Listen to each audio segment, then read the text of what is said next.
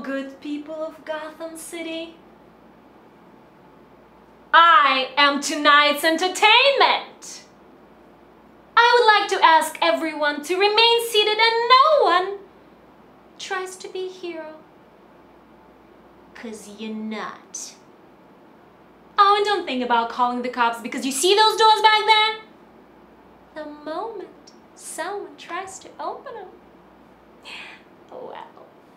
let's just say it'll be a blast.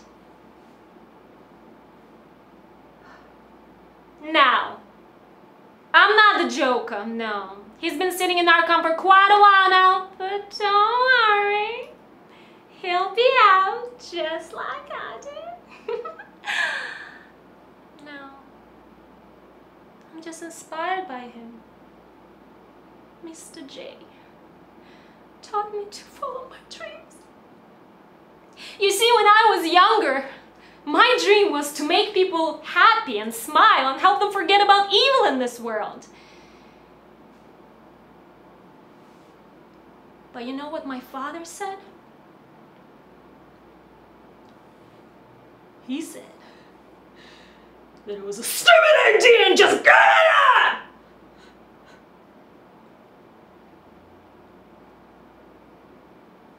I just wanted to prove him wrong.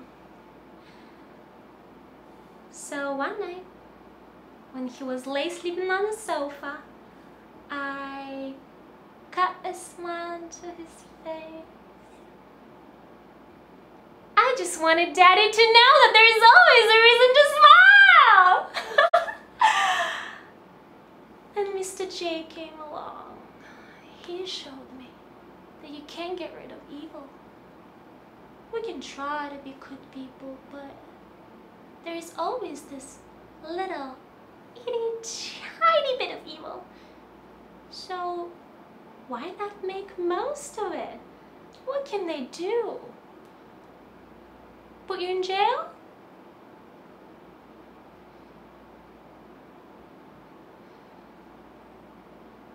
That's what they did to me.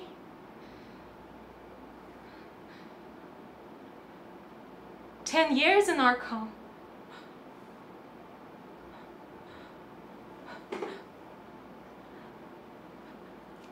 Ten years!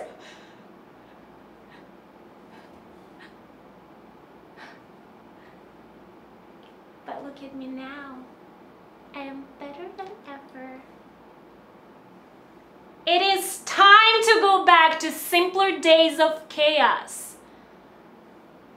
Make a name for yourself. It's your time to shine. Gotham is ours to manipulate and control. Let no one get in your way. We must rebuild Gotham on destruction and make a world a happier place. Oh, and don't forget, you cannot spell slaughter without a little laughter.